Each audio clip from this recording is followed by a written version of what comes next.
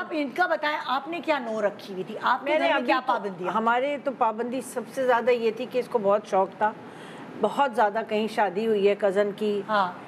और इसे रुकना है। हाँ। तो मैंने ये नो रखी है हाँ। रात नहीं कहीं हाँ, रुकना रात कहीं नहीं रुकना। आप भी जानती हैं कराची अमेरिकन स्कूल में पढ़े हैं, तो वहाँ नाइट वो स्लीप ओवर भी होता हाँ, था हाँ, तो वो मैं वहाँ बैठ गई सुबह तक मेरे साथ स्कूल में there camp night and stuff अब मैं बहुत छोटी मैं आई थिंक सिक्स ग्रेड में थी। अब मैं अपने मज़े कर रही हूँ ये वहाँ बेंच पे बैठी हुई है सुबह के सात बजे देखो शोबिस की माँ है मैं कहती हूँ आम हाउसवाइफ नहीं करती हैं कितने लोग ये वहाँ पे हाँ। नहीं थे कोई भी नहीं था।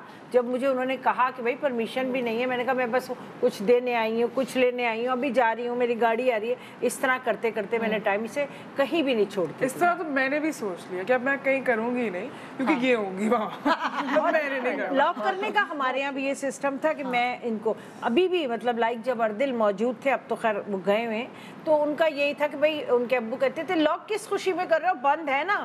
इसको भी कहते हैं। और इनको भी कोई वो नहीं है लॉक है तो चाबी लेके वो खोल देते हाँ। बंदा तो मैंने चाबी हो, रखी हुई थी। हो। तो यार आप खोल देती हैं तो वो भी नाराज़ होता हाँ। था ये भी लेकिन मैं कहती थी लॉक नहीं करो। लॉक हमारे यहाँ दो किस्म के पेरेंट्स एक तो बहुत लिबरल कि नहीं हम अपने बच्चों की प्राइवेसी आए आए कैसे लॉक खोल सकते हैं? हम क्या कर सकते हैं? अरे सम्माना आप देखें भाई कहाँ से कहाँ जा रहे हैं। और एक है बिल्कुल ही ज़्यादा घुटन देने वाले। सो वो जो बीच में मैं आना रवि है ना कि वो भाई वो रखें बिल्कुल ही गुल्ला ना छोड़ दे।